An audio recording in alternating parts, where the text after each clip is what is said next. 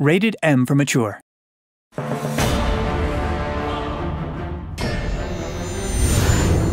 Gods tend to keep their distance, even among the faithful.